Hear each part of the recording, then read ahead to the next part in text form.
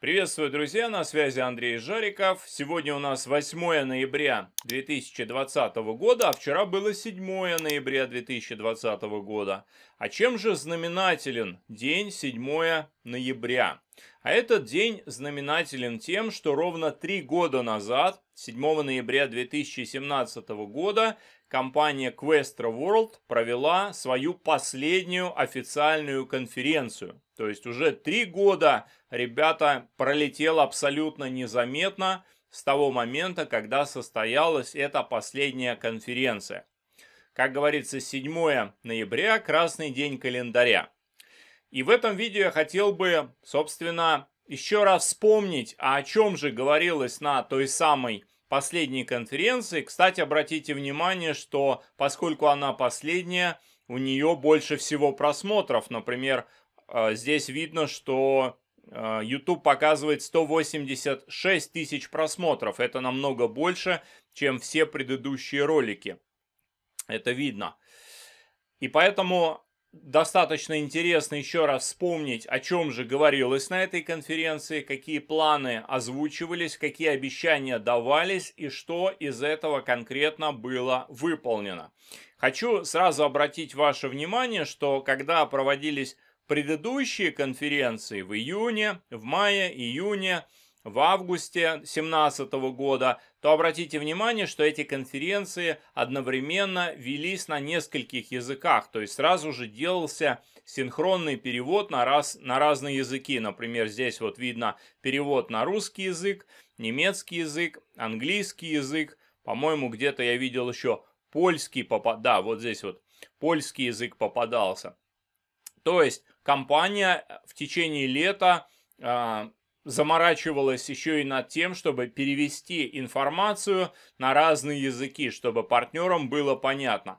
Последняя же конференция, как видите, ни на какие другие языки не переводилась, а, собственно, информация давалась только на английском. Ни русского, ни немецкого, ни каких-то других языков уже не было. Это уже говорит об отношении. То есть компания, которая привлекла огромные суммы а, в свое управление и, как утверждают до сих пор верующие в компанию, что это супер-пупер успешная компания, у которой там миллиарды, э, миллиардов долларов, да, а компания не захотела даже какие-то там несчастные а, несколько сотен долларов потратить на то, чтобы организовать синхронный перевод на разные языки.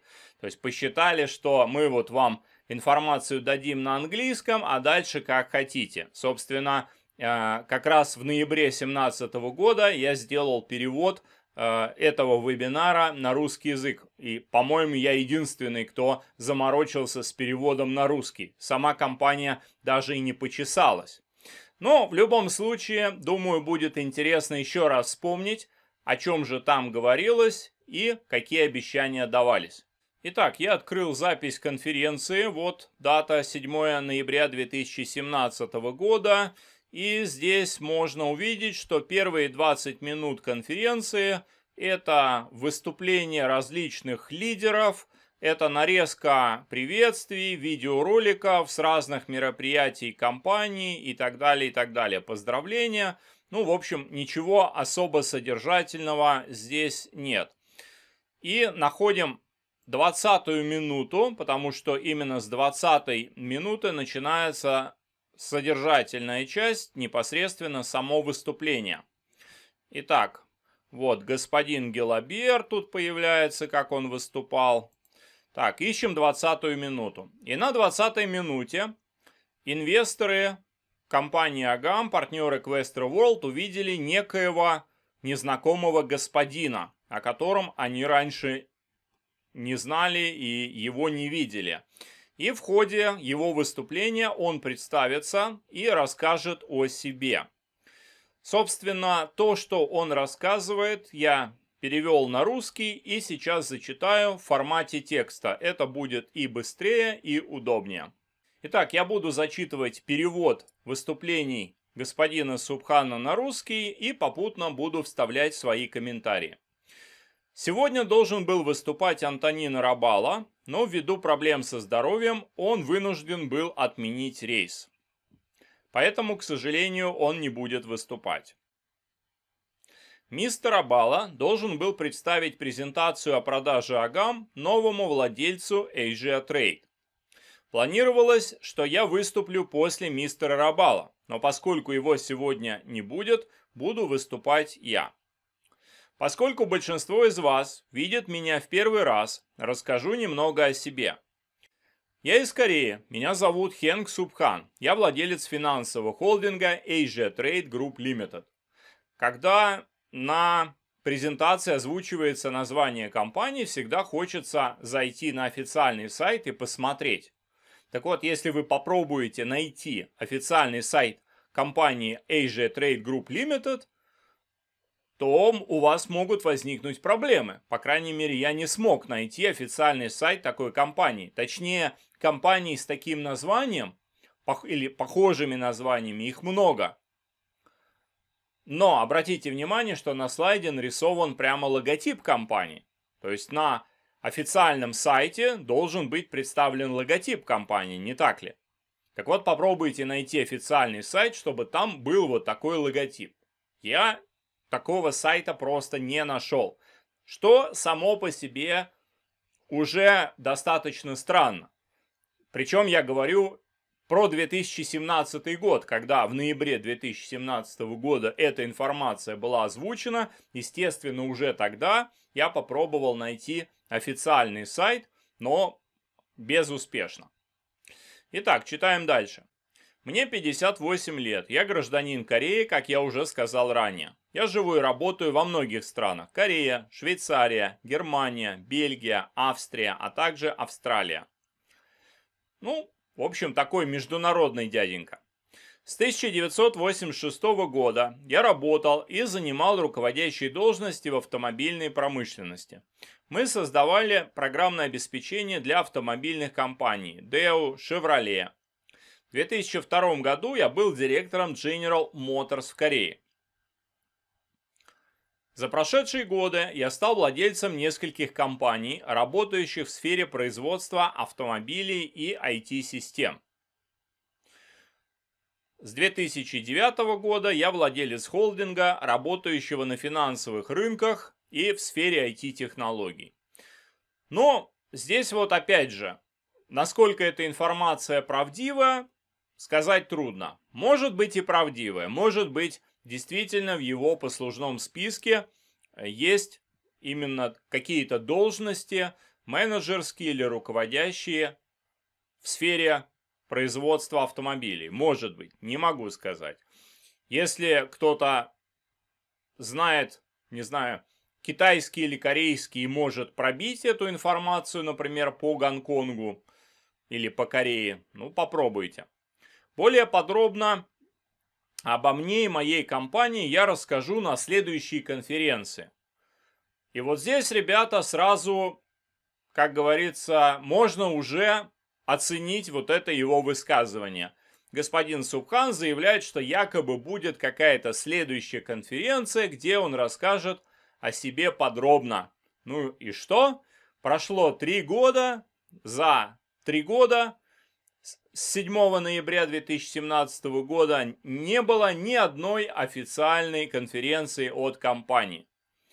То есть то, что он здесь говорит, что якобы будет конференция, он будет там что-то детально рассказывать, что в итоге оказалось вранье да, как, в общем-то, практически все, что говорилось на вебинарах, на конференциях крупнейшей мировой компании. Достаточно вспомнить про банк Агам, помните, который к лету 2018 года, по расчетам господина Рабала, уже летом 2018 года банк Агам должен полностью работать, функционировать, должны быть офисы открыты в разных странах, в разных городах, и люди должны свою прибыль на карточки выводить. Ну, э, что на самом деле с банком Агам, думаю, вы и без меня знаете. Окей, значит, делаем себе заметку. Это вранье. Едем дальше. Сегодня я хотел коротко представиться и рассказать о наших дальнейших планах. Ну давай, рассказывай. Уважаемые партнеры, данный формат видеоконференции для меня нечто новое. а также некоторые новые технологии, которые используются в компании Global Gold Asset Management. Вы сейчас можете мне сказать, ай-яй-яй, у тебя тут ошибка. Прикол-то в том, что я написал именно то, что он сказал. Если вы знаете английский, прослушайте запись. Он сказал не Atlantic Global Asset Management, а Global Gold Asset Management. То есть для него это было новое название, и он именно так сказал. Ну, скажем так, ошибся, когда произносил название компании. Ну, бывает. Ладно, не будем придираться, но уже тоже возьмем на заметочку. Человек собирается приобрести крутейшую компанию, но еще толком даже не запомнил ее название. И, кстати, он здесь просит сразу прощения, поэтому прошу простить за мою манеру подачи информации. Ну ладно. Как владелец холдинга AG Trade я хотел бы рассказать о нашем холдинге. Ну, давай расскажи, хотя, опять же, было бы неплохо, чтобы ты хотя бы озвучил ссылку на официальный сайт, и мы э, сами бы эту информацию изучили. Наш холдинг был создан для работы на финансовых рынках и в сфере криптовалют. В наше время финансовые рынки стремительно меняются, и по всему миру распространяются новые технологии. Все, кто видит это и хочет занять лидирующие позиции на рынке, должен действовать и действовать быстро. Финансовый холдинг Asia Trade, официальное название Asia Trade Group Limited, был создан с целью не упустить те возможности, которые открываются на многомиллиардном рынке. Вот я предполагаю, что вот, этот, вот эта часть текста была для господина Субхана написана заранее, потому что здесь, ну, по крайней мере для меня, чувствуется та же рука, которая писала выступ, а, тексты для выступлений Гелаберта и господина Рабала.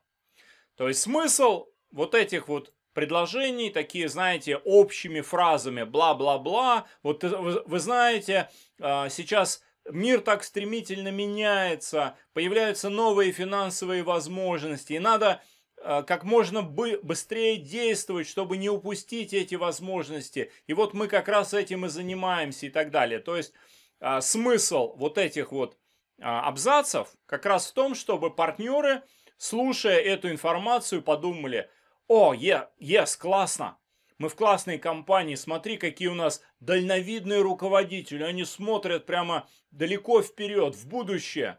Они там тщательно отслеживают тенденции, следят за рынком и стремятся быть впереди планеты всей и так далее. То есть смысл вот этого показать, что мы передовые, мы передовая компания, мы стремимся быть впереди всех. Дальше. Финансовый холдинг Asia Trade включает в себя несколько различных компаний, которые разделены на группы, и каждая из них развивается в своем сегменте рынка.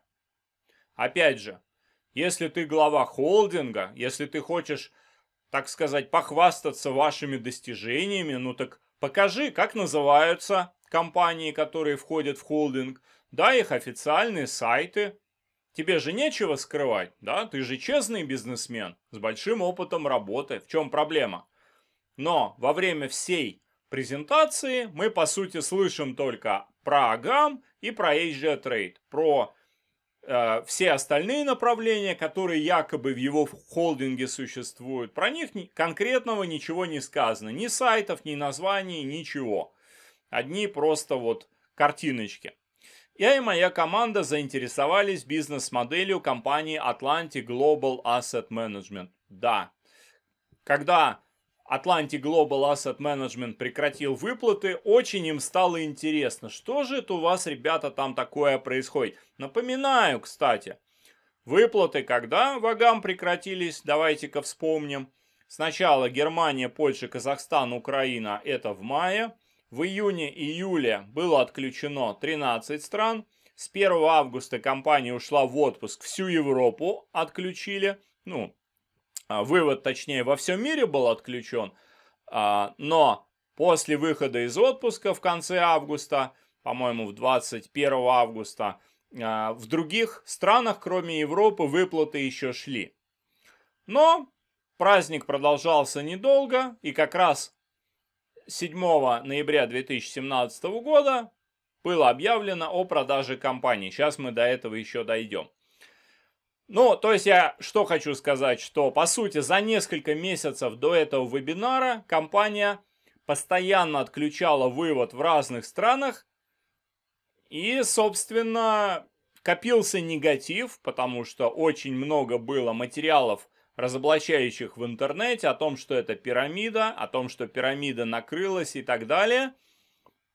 Вот. И, конечно, господина Субхана такая в кавычках успешная компания очень заинтересовала. Ну ладно, допустим. В частности, нас заинтересовало финансирование стартапов в сфере технологии блокчейн. Да-да-да. Главное, умных слов побольше нагородить. Стартапы, технология блокчейн. Бизнес-модель, по которой Агам взаимодействует с физическими и юридическими лицами, действительно уникальна и заслуживает восхищения. О да, если вспомнить, что компания уже на протяжении нескольких месяцев отключала целые страны, и тысячи инвесторов там без денег сидели, то это такая классная работа. И, кстати сказать, если вы помните, господин Рабала еще в мае сказал, что мы будем там лицензии в разных странах получать, но, как мы знаем, ни одной лицензии в итоге так и не было получено. Такая шикарная работа, прямо заслуживает восхищения. Ну, я же говорю, что, скорее всего, этот текст для господина Субхана просто писали, а он, как товарищ Брежнев, читал по бумажке. Агам полностью готова к работе. У компании есть цель, стратегия и потенциал. Ну, опять же, смотрите, то есть, э, вот э, сначала господин Субхан презентовал себя, что я вот такой успешный бизнесмен, у меня целый вот финансовый холдинг, который много лет работает, да, я там всю жизнь на руководящих должностях, и, ну, согласитесь, инвесторам и партнерам а, будет приятно такую характеристику услышать, что Агам полностью готова к работе, у компании есть цель, стратегия, потенциал. Ведь а, дальше будут озвучены новости не очень приятные о том, что вывод, а, по сути, вывод приостанавливается на время юридической проверки, да, и поэтому, чтобы эту горькую пилюлю немножко подсластить, да, вот такой комплимент компании, что не переживайте, у компании все хорошо, она полностью готова к работе, есть цель, стратегия, потенциал.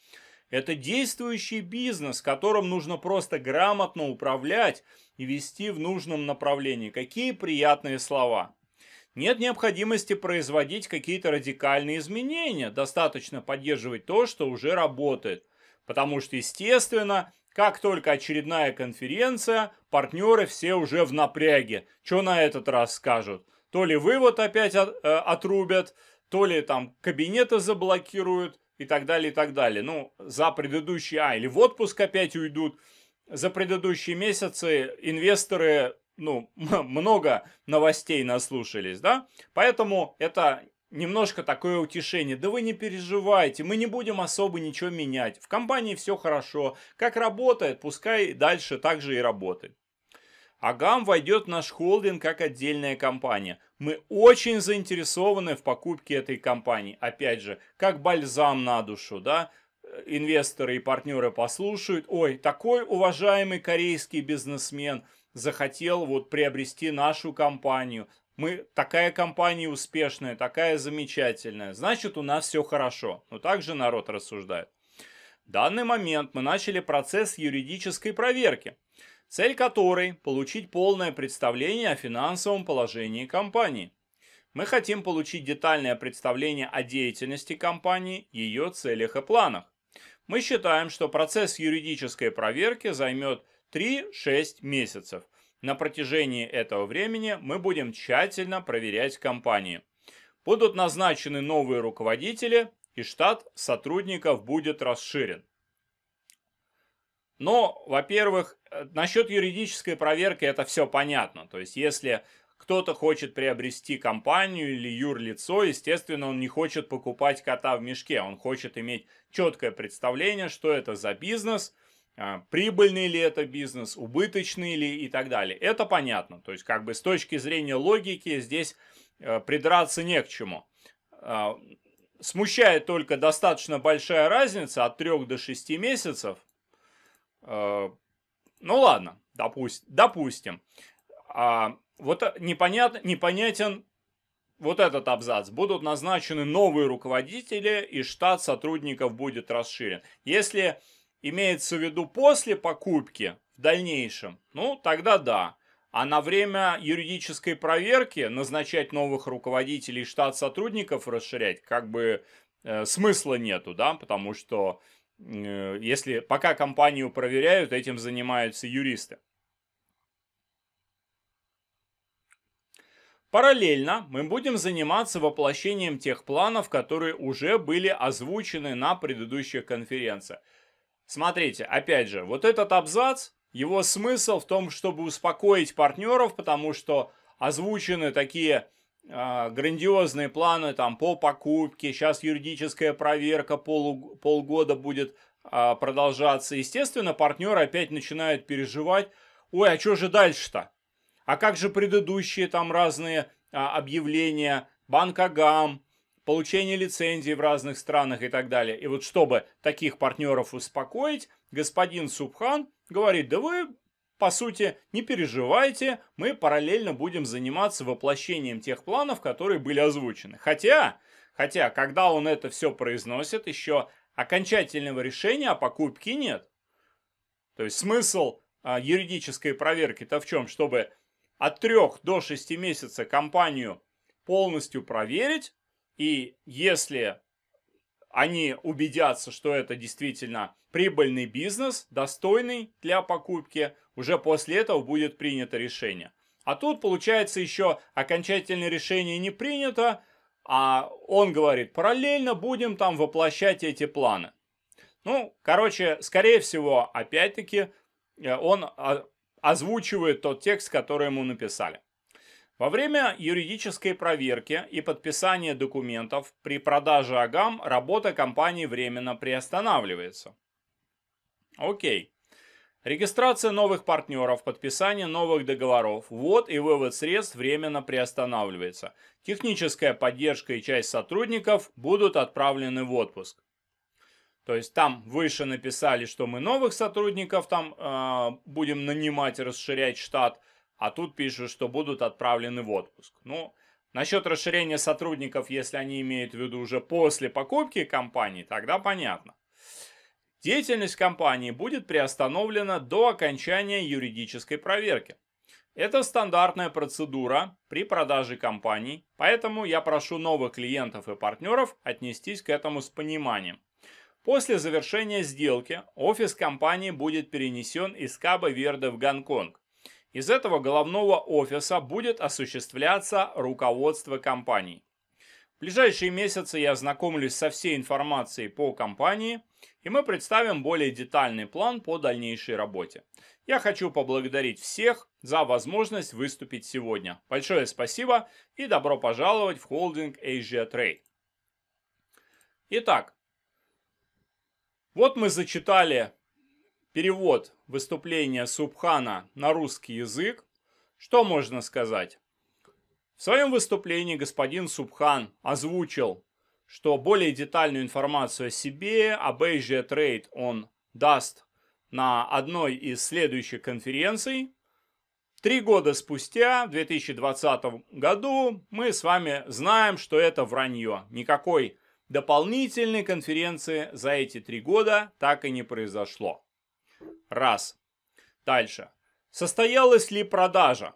Никакой информации о том, что якобы а, продажа компании Агам холдингу Asia Trade за эти три года также не было предъявлено. По сути, как я уже озвучил, попробуйте даже найти официальный сайт компании а, Asia Trade, и вряд ли вы найдете. То есть, мое мнение, что вся эта история с Asia Trade это выдумка, это фикция для отвода глаз. То есть, цель, вы спросите, а в чем цель вот э, этой конференции, вот этого выступления? Так, собственно, э, все предыдущие конференции, в том числе, э, их цель была в одном, чтобы создать у партнеров видимость, что все хорошо, что скоро все заработает, обязательно заработает, можно даже не переживать, надо просто подождать.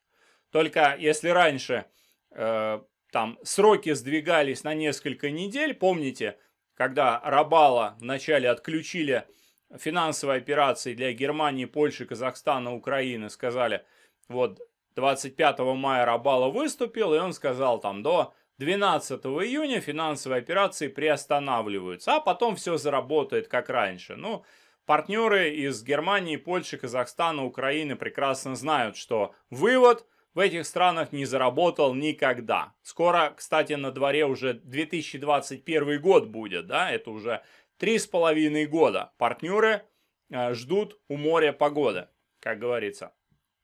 Так вот, все эти конференции, вебинары, на них постоянно озвучивались какие-то грандиозные планы. У нас там банки будут, у нас карты будут, у нас продажа будет, нас крупный международный холдинг покупает и так далее. То есть много чего было рассказано.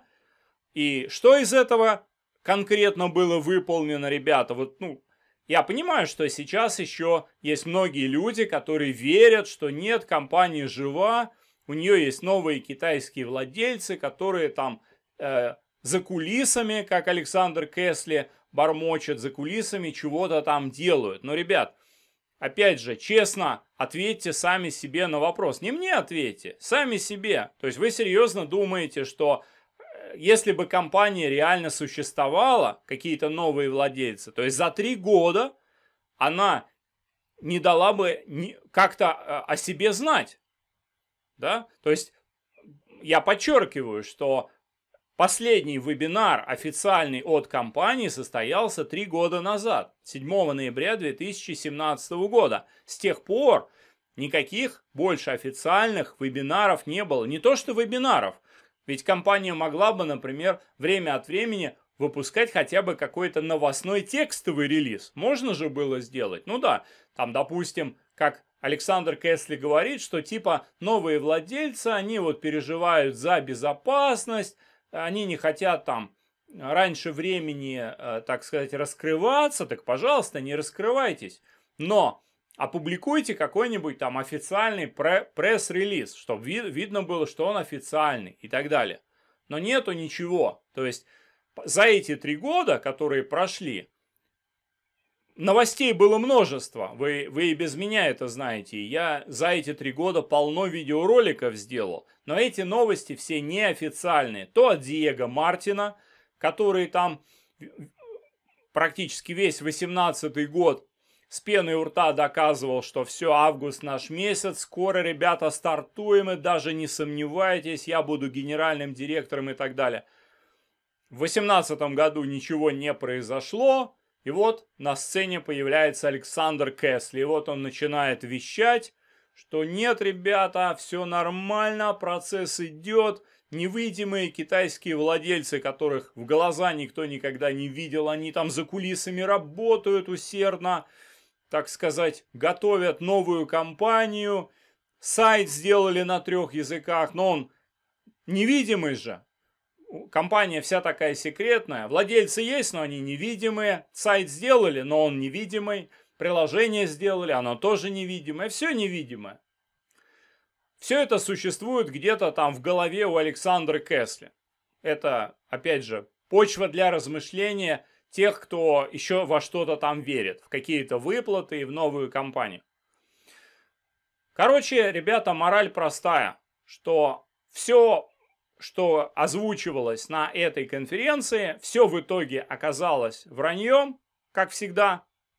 То есть никакой продажи не состоялось. Холдинг Asia Trade, скорее всего, фикция. Может быть, он на бумаге где-нибудь и существует, как юрлицо. Но попробуйте найти хотя бы официальный сайт такого крутейшего холдинга, как господин Субхан говорит, у него там типа даже разные направления есть. Ну и где эти направления, где названия, где официальные сайты и так далее. Ну, в общем, ребята, получается, что никакой официальной информации от якобы существующей компании за три года не было предоставлено ни разу, ни вебинаров, ни пресс-релизов, даже в печатном тексте ничего не было. Ну а про вы, вывод я вообще молчу. Вывод не работает уже, по сути, с а, мая 2017 года. Это три с половиной года получается. Да, я понимаю, что многим хочется верить, что новая компания, как Александр Кесли говорит, где-то там готовится и обязательно запустится, и на вас золотым дождем и зальются ваши дивиденды, и инвестиции, и миллионы, и так далее. Ну и спросите себя, насколько реалистично верить, что компания, которая три с половиной года не платила, потом раз, появилась вся в белом и начала массово платить. Особенно если учитывать, что по сути, как сам Александр Кесли говорит, у компании новые владельцы. Там уже нет никаких европейцев, там китайцы.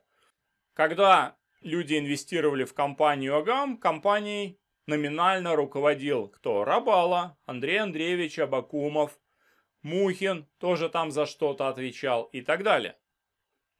А сейчас Александр Кесли открытым текстом говорит, европейцев там больше нет, там все китайцы. Ну вот и возникает логичный вопрос, а китайцам зачем платить по чужим долгам?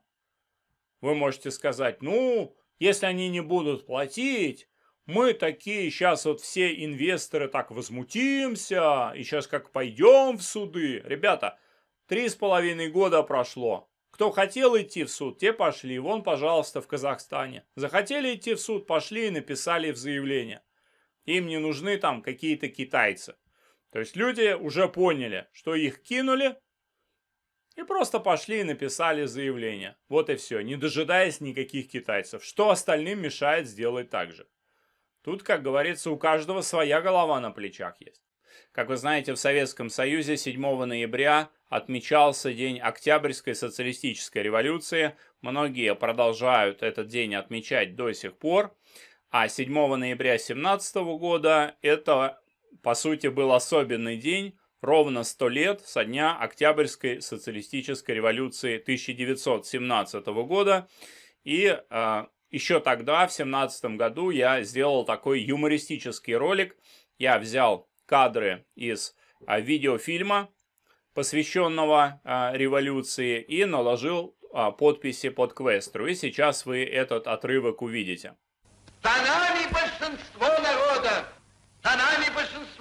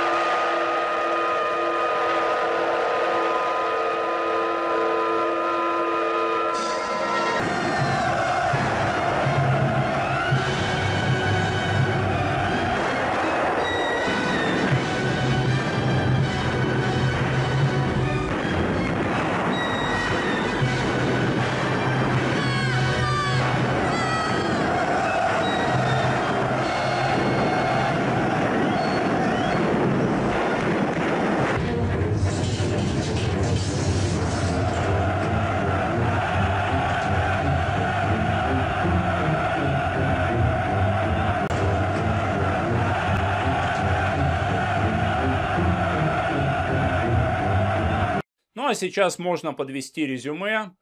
Когда в 2017 году руководство Квестры проводило свои конференции, то много раз озвучивались грандиозные планы, намерения.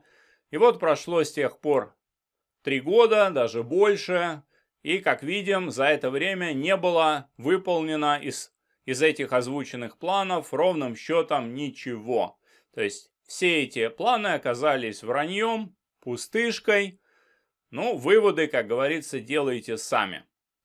Следите за новостями, подписывайтесь на канал, нажмите на колокольчик, чтобы ничего не пропустить. С вами на связи был Андрей Жариков. Всего доброго.